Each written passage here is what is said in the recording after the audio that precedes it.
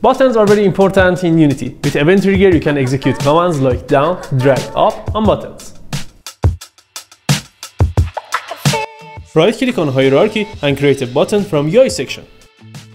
Change its size and change its position as you want. Check these boxes and press set native size till its size becomes its original size. There is a text in button's child. Remove its text. Now if you change resolution, button position gets messed up. To fix it, click on button, from rect transform section, choose this option. Now button's position sets as a screen corner. If you hold alt and double click on it, button position will be set exactly to a screen corner. Now if you change resolution, button stays at a screen corner, but on changing resolution, button aspect ratio gets messed up. To fix this, choose canvas, change render mode to a screen space camera. Now give the camera to it and change scale mode to scale with screen size. Now enter the resolution, it's written up here. If you change resolution now, button position doesn't change and its aspect ratio is maintained. Right click and create a text only for test orders and commands.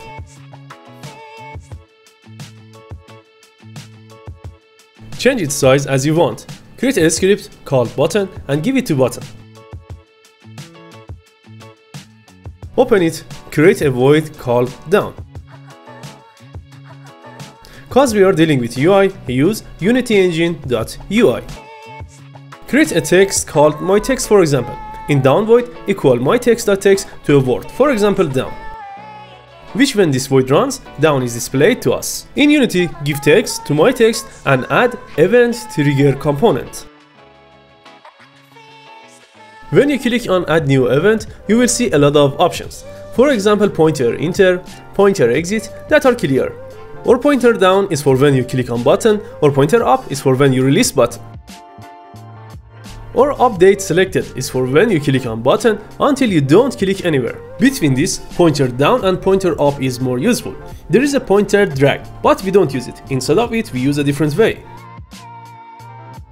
When you click on this plus button, you can give it any object you want. You can give a script to it or the object itself. After that, from function section, choose down void. Now press play. As soon as you click on this button, down displays. Open the script again, define a new void called up. In it, equal myText.text to a word for example up. Now I want when I take off my hand from this button, this commands run, so add a new event called pointer up. And choose up void from functions. After play, if you click on this button, down void runs and as soon as you release the button, up void runs. Let's go to drag.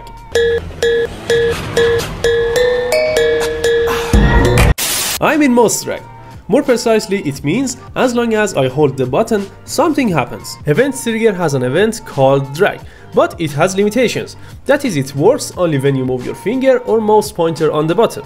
And it is not what we, we want. And it is not what we wanted. For this, open the script again. We want to create a drag ourselves by using a method called invoke repeating and pointer down and pointer up. Define a new public void called drag. Now in down void write invoke repeating, then in parentheses for first part write intended void name in double quotations. For second part write delay time and for third part write its repeat rate in second. Up here define an integer called number and in drag void increase this integer and equal a text to it. Why? To see the change clear. In up void, top of another commands, write cancel invoke, and in parentheses in double quotation, write that repeating void name, I mean drag. Press play. As soon as I click on this button and I hold it, integer increases. You can put any other commands, for example shooting, and as soon as I release the button, up displays. This is an example of invoke repeating. If I press button one by one, it will fire one by one, and if I hold the button, character will fire repeatedly. Thanks for watching, don't forget to like and subscribe us, thank you.